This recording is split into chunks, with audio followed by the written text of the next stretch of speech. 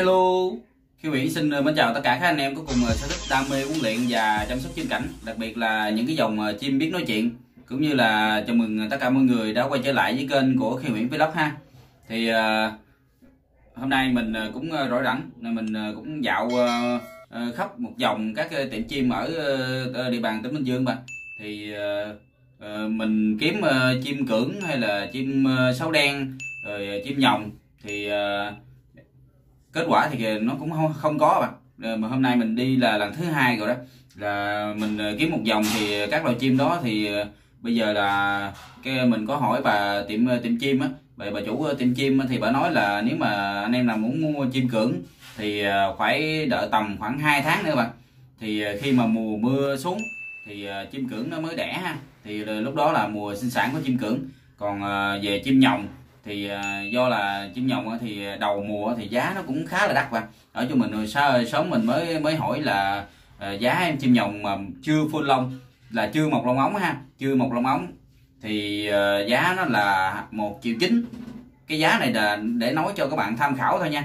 Chứ chứ nếu mà nói về cái giá thì nó sẽ dao động, chứ không phải là mỗi chỗ mỗi giống nhau mà tùy theo ờ, dòng chim và tùy theo chủng loại của nó và tùy theo ờ, ở chỗ bán nữa chứ không phải là giá cố định. Thì ờ, khi Nguyễn nói để cho anh em mình tham khảo cái giá đó và để biết đường mà mình lựa chọn cái nói chung là mình chuẩn bị cái túi tiền để mình để mình đi mua thôi. Đây thì thì là em chim chim sáo nâu. Mình thì uh, Ờ, rất là đam mê nuôi chim mà. Nhưng mà trong nhà mà không có ờ, con chim để để để nuôi thì nó cũng ờ, thấy mình đi làm về mình thấy nó cũng buồn buồn. Cho nên là mình cố gắng. Bây giờ mình tạo được một em chim sáo nâu. Đây là em chim sáo nâu non. Thì giá mình mua ở đây là nó một trăm rưỡi bạn. Hầu như là giá một trăm rưỡi là nó cố định luôn. Mình đi cũng khoảng chừng 10 đến 10 12 tiệm. Thì mình hỏi thì chỗ có, chỗ không thì chỗ nào có thì ờ, mình cũng vô mình lựa và mình ờ, chọn chọn lựa những em chim nó ờ, khỏe mạnh các bạn. Thì người ta cũng bảo là giá một trăm rưỡi và qua mấy tiệm khác thì mình cũng hỏi người ta thì người ta cũng nói là một trăm rưỡi. Thì giống như là giá này là giá cố định của cái loài chim sáu nâu ha. Thì các bạn thấy em chim mình mới đem về thì mình cũng ủ ủ ấm cho nó các bạn. Chứ mình đừng có Ừ, bỏ nó ra ngoài máy hiên chả để ở ngoài ờ, thiên nhiên thì thì nó sẽ không không được ấm bằng ờ, cái việc mà mình nuôi mình để cho nó trong cái hũ ờ, và mình sẽ giữ ấm cho nó ha. Thì hiện tại thì nó cũng đã ăn no rồi bạn. Thì nếu mà chim sáu sáu non á, mà nó mà chưa có no là nó cứ hạ họng ra nó kêu chít chít chít chít hoài. Thì lúc đó thì mình cứ canh và mình đưa thức ăn vào cho nó ăn thôi. Ờ, nhìn các bạn nhìn thấy ờ, em nó ngủ cũng ờ, khá là đáng yêu ha. Tại giờ chưa có cà, chưa có sáo đen chưa có cà cưỡng và chim nhồng thì giá rất là đắt. Cho nên là mình cũng ừ, không đủ kinh phí để mình mua chim nhồng mà. Thì bây giờ hiện tại trước mắt thì chơi đỡ em sa sa sa sáu nâu này đi. Chứ nếu mà không có chim cho mình mình đam mê chim á mà mình không có chim ở trong nhà thì nó cũng khá là buồn. Ờ, cho nên là sáu nâu thì cũng ờ, có nhiều anh em chuộng có nhiều anh em cũng không không chuộng mấy mà. Tại vì cái dòng chim này nó ờ, nó không được khôn như những cái loài mà chim nhồng hoặc giả chim cưỡng. Và nó cũng không có nói chuyện lanh bằng nữa. Cho nên là cái giá của nó thì cũng không không không được người ta đẩy lên cao.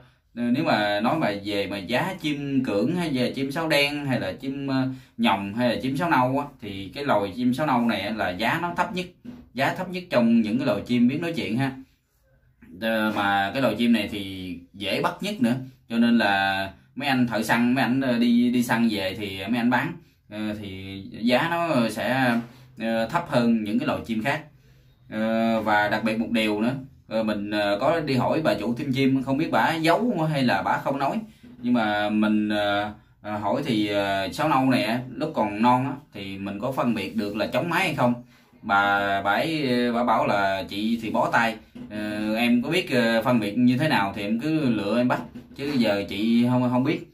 Thì ờ, nói chung là nếu mà các bạn nuôi ờ, cái những em chim chim non á thì mình cũng hạn chế mình bắt tay ra ha. Thì khi nào cần thiết á, thì mình hãy bắt còn nếu mà không cần thiết thì thôi. Chứ các bạn mà bắt nhiều á giống như cái hơi tay của mình á sẽ làm ảnh hưởng tới tới bé, bé, bé chim mà. Chứ chứ nhiều khi mình uh, cưng nó quá mình đem ra mình cứ vuốt ve hoài đâm ra mình hay là mình mình hại nó ha. Cứ để cho nó sống tự nhiên. Nó đói thì cứ pha thức ăn cho nó ăn. Thì uh, để uh, khi Nguyễn uh, uh, rảnh rỗi ừ, và đợi lúc nó đói thì mình uh, sẽ làm một cái video tiếp theo về uh, hướng dẫn các bạn uh, pha chế thức ăn làm sao để uh, đút cho con con con chim non nó ăn và thì bạn thấy giờ nó ăn no và nó nó nó, nó ngủ rồi. Nó nó nó nằm im thinh thích luôn. Ờ, khá là dễ thương ha. Thì ờ, mình ờ, thì nuôi chủ yếu là huấn luyện cho chim nó được nói chuyện thôi bạn. Nó mà nói được cái tiếng người thì rất rất là vui và và nếu mà nó, con con nào mà có cái tố chất thông minh á, thì mình huấn luyện nó trong vòng có chừng mà năm, sáu tháng đầu, năm sáu tháng mà tháng tuổi là nó có thể nó nói chuyện được ha. Còn nếu mà con nào mà cái tố chất nó không được thông minh thì mình sẽ thả chim về thiên nhiên vậy mình ờ, mình thấy nó không có ờ, hót không có nói chuyện được là uh, cho em về thiên, thiên nhiên cho em uh, bắt cặp để em sinh sản thôi. Còn nếu mà uh, anh em nào mà thích uh, mà thấy mà uh, chim mình uh, mình huấn luyện mình uh, hay đăng cái những cái cái cái, cái clip lên uh, trên youtube hay là lên trên facebook á anh em mà con nào mà có thích á, thì uh, kêu mình chia sẻ lại mình mình nhường lại cho cho anh em ấy thì mình cũng uh, sẵn lòng. Tại vì uh, người ta không có uh, Ờ, biết cái cách nuôi biết cái cách huấn luyện cho nó nói chuyện thì ờ, người ta mới nhờ đến mình thì mình cũng ờ, sẵn lòng để giúp đỡ anh em ha. Vậy thôi khi Nguyễn cũng xin cảm ơn anh em và mọi người nãy giờ đã theo dõi cái video của mình.